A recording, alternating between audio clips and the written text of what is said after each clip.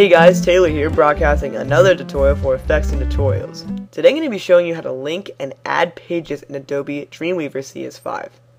It's a very easy tutorial and I'll be showing you exactly how to do it. So first of all, open up Adobe Dreamweaver and make sure your index is up and running. Your index is basically your main page. I'm not going to go into that because it's you should know that.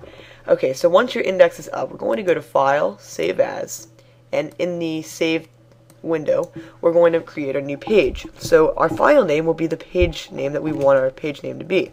So we'll just type in page. Page 1 because I already had page made. Okay, so right here we can edit up our page, you know, just type whatever we want.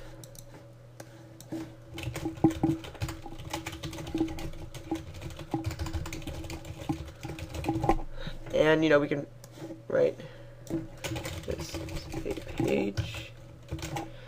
Okay, so once we're done, we just hit Control S or Command S on a Mac for saving, and go back to our home. Now, that's how you create a page. Your, your page is already created, but we, if you want viewers to actually view your page, we need to link the page to your main index, which is already shown. So, to do that, we need to create some text first of all. So, let's just type in click, oops, here to view my page.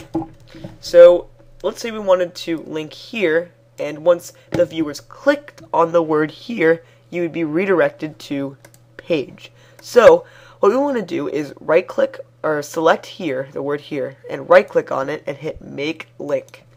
Here we can choose from all of our pages and videos. It doesn't matter. You can choose anything.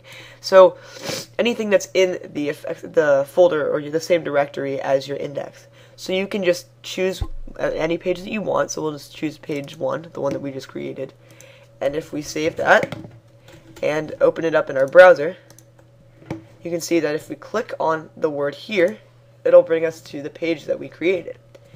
Thanks for watching guys, I hope this tutorial helped, and if you have any other questions, you can message me at Effects and Tutorials, you can message me at SportsFan100, or you can message xY2Jericho, um, or you can, you know, go to Effects and Tutorials at TK and, you know, ask or contact me there. So thanks for watching guys, I hope this tutorial helped, and I'll see you later. Bye.